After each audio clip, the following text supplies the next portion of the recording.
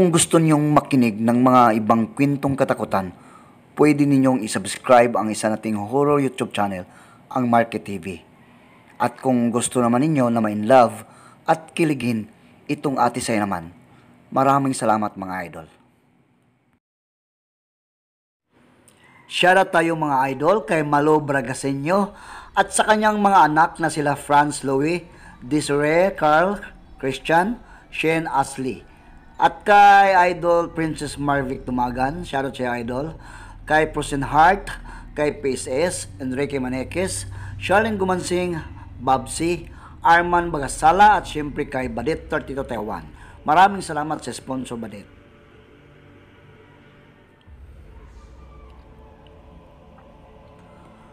Pagdating nila sa tent, nandoon na din sina Tatay Abito at Jonas.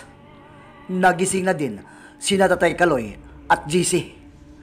Sabi ni Tatay Abito, Mauricio, Jonas at GC, pag may mga naririnig kayo, pabayaan nyo na lang.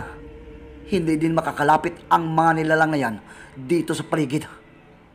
Pero mag-iingat kayo doon sa dalawa, yung ermitanyo at si Isidro. Dahil walang kahirap-hirap kung gugustuhin nila na pumasok sa orasyon na pambakod. Matutulog na tayong muli. At pumasok na ang tatlo sa loob ng tenta habang sina Tate Mauricio, JC at Jonas ay humiga na din sa kanilang mga duyan at natutulog na rin. May mga naririnig pa rin sila at nararamdaman na mga nilalang sa paligid. Pero gaya ng sinasabi ni Tatay Abito na pabayaan na lang nila at huwag pansinin. Kinabukasan, mag alas 6 pa lang ng umaga ay nagising na sila. Maagang naghanda ng almusal. Maaga sila ngayon sa mga gagawing ritual at pagdarasal. Pero sa pagkakataong ito, sabi ni Tatay Dadoy, hindi na muna sila maghihiwalay. Tigdadalawa sila ngayon sa gagawing pagdarasal. Sina Tatay Dadoy at Tatay Abito ang magkasama. Sina Jonas at Tay Kaloy naman at Tatay Mauricio at JC naman. At pagkatapos mag-agahan, nagsimula ng magsialisa na sila. Sina Tatay Abito at Tatay Dadoy ay bumalik doon sa batis. Doon sa may malaking puno ng baliti. Sina Tay Kaloy naman at Jonas doon sila sa kakahuyan sa gilid ng pangpang. At sila ni Tatay Mauricio at GC naman doon sa loob ng yungib. At habang naglalakad sina Tatay Mauricio at GC papunta doon sa yungib, nakikiramdam lang sila sa paligid. May mga iilan na din silang nararamdaman na mga engkanto. Pagdating nila doon sa yungib, agad na inihanda nila ang mga daladala at nagsisimula na sa pag-uusal. Pero sa pagkakataong ito, may tig-isang hawak na sila ng librito na bigay ni Tatay Dadoy. Mga bagong orasyon, dasal at buhay na salita ang kanilang pinag-aaralan. At ilang sandali, ramdam agad ng dalawa ang mga umaaligid na mga masasamang espiritu at mga engkanto. Hindi rin naman makakalapit ang mga ito sa kanila dahil sa mga ginagawa nilang orasyon na pangharang at pangbakod. Ginagawa nila yon ng buong maghapon. Simula nang mag-agahan sila, hindi na sila kumakain pa. Puro pagdarasal at pag-aaral lang ang kanilang ginagawa. Marami silang mga nakikita at nararamdaman na mga engkanto at espiritu. Pero hindi ito hadlang para matapos nila sa araw na yon ang mga ginagawang ritual. Papauwi na sina Tatay Mauricio at JC. Mag-alas 6 na din kasi ng hapon. Pagdating nila ng tent, wala pa ang apat. Tanging sila lang ni GC ang nandun. Kaya ang ginagawa ng dalawa, agad na naghanda ng para hapunan nila. Baka medyo natagalan lang sa pag-uwi ang mga kasama nila. Mag alas 8 na ng gabi nang makauwi sina Tatay Dadoy at Tatay Abito. Pero sila Tay Kaloy at Jonas ay wala pa. Tanong kaagad ni Tatay Dadoy, Asa na sila Kaloy Toy? Wala pa ba?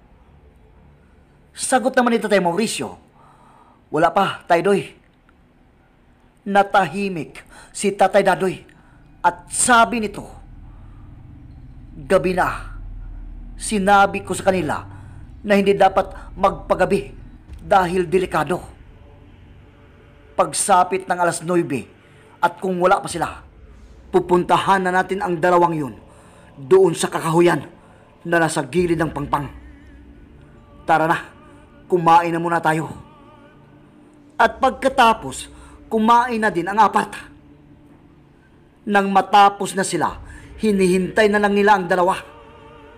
Pero alas 9 na, wala pa rin. Kaya sabi ni Tatay Dadoy, masama na ang kutob ko.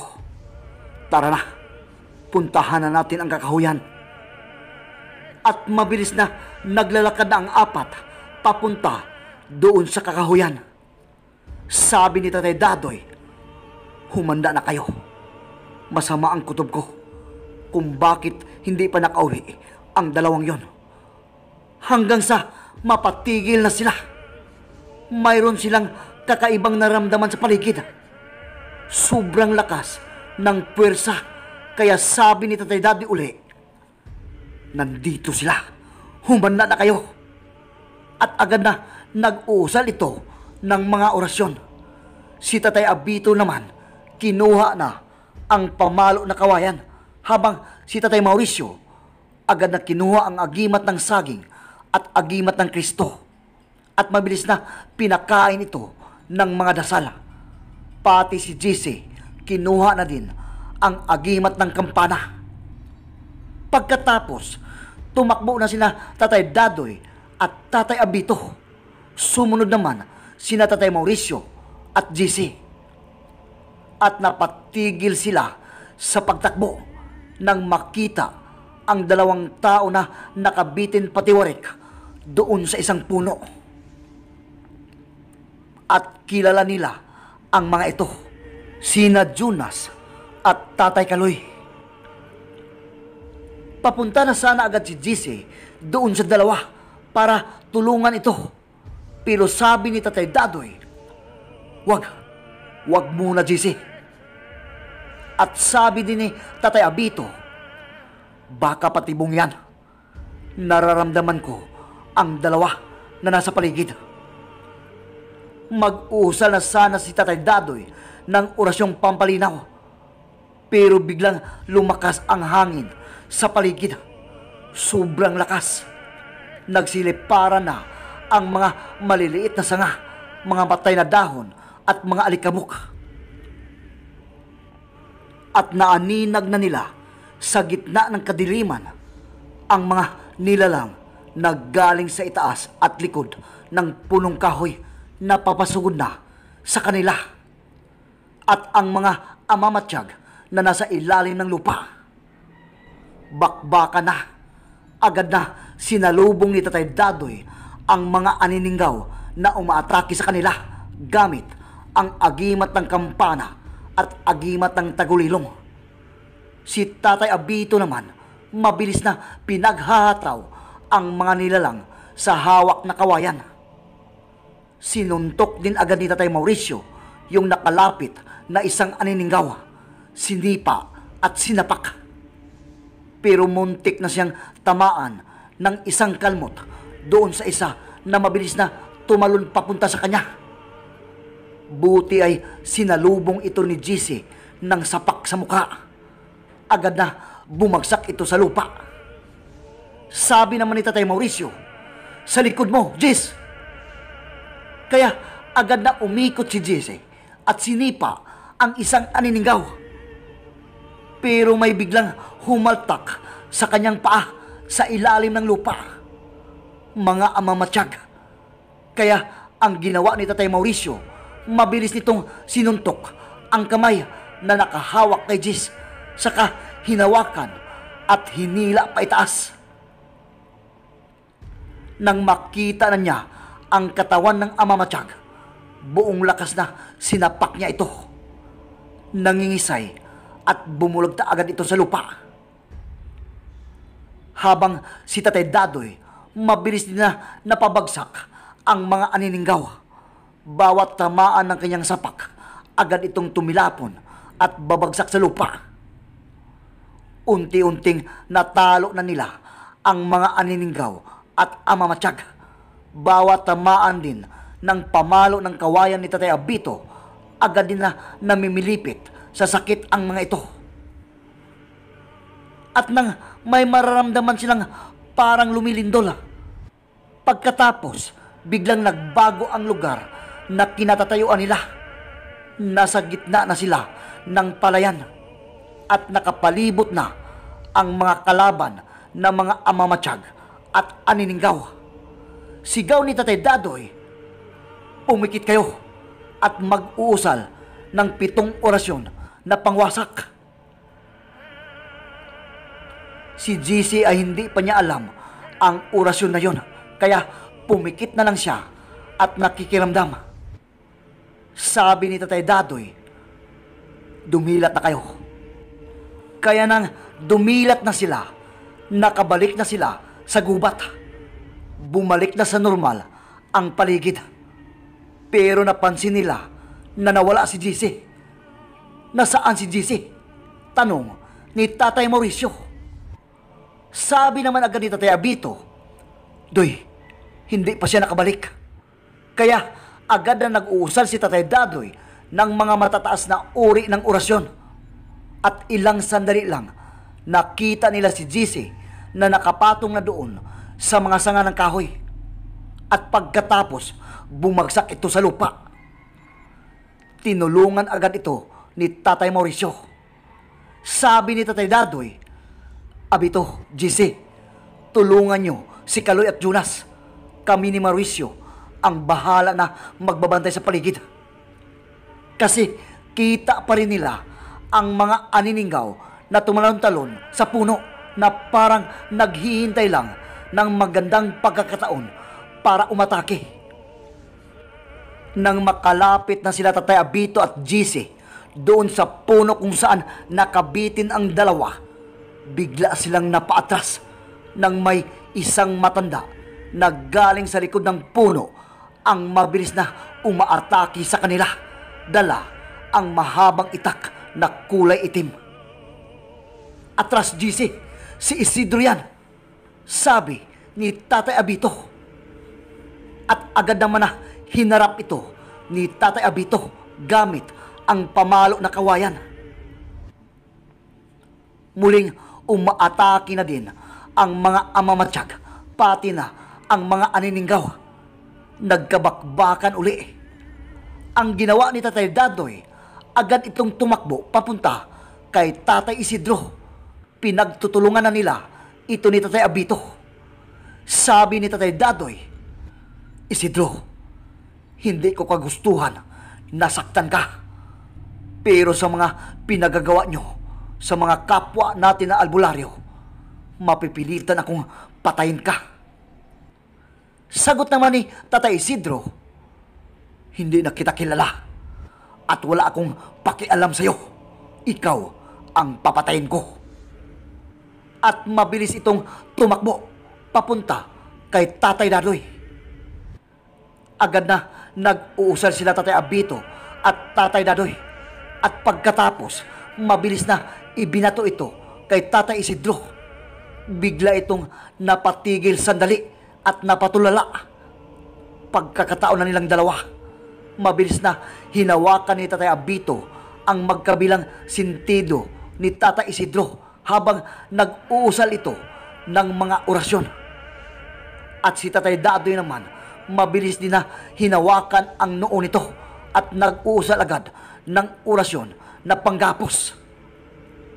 Habang sila naman ni GC at Tatay Mauricio, isa-isang pinabagsak na ang mga anininggaw at ang mamatsyag. Nawala na din ang presensya ng ermitanyo. Nakita nilang unti-unting nanginginig ang katawan ni Tata Isidro habang umiikot-ikot ang mga mata nito hanggang natumba pa pa doon sa lupa at nangingisay. Sabi ni Tatay Dadoy, Bilis, tulungan nyo si Kaloy at Jonas. Mauricio, tulungan mo ako. Buhatin mo si Isidro. Dalhin natin siya doon sa tenta. Umatras na din ang mga anininggaw at amamatsyag. Nang makuha na nila ang mga walang malay na katawan nila Kaloy at Jonas, agad na naglakad na sila papauwi. Pagdating nila doon sa tent, inihiga nila ang tatlo at nilapatan ng mga gamot. Pero si Tatay Dadoy at Tatay Abito, may ginawa sila ng mga orasyon doon sa katawan ni Isidro. Gumagawa sila ng mga orasyon na pangsara para tuluyan na na hindi magagamit ni Isidro ang mga kaalaman nito sa kadiliman. Nang matapos na sila, lumabas na si Tatay Dadoy doon sa tent at ang sabi niya, sa susunod na araw, bababa na tayo. Doon na natin ipagpatuloy sa bundok bandilaan ang mga pag-aaral natin at lalo na sa inyo, GC.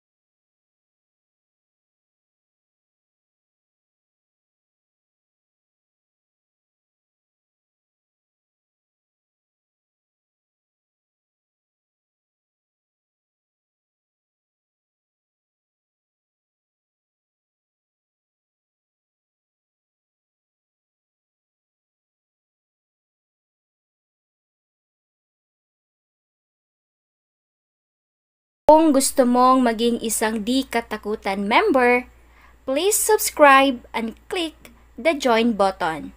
Pwede kang mamili ng monthly payments. Magkakaroon ka ng special shoutout at badge sa bawat comments ninyo. Maraming salamat po.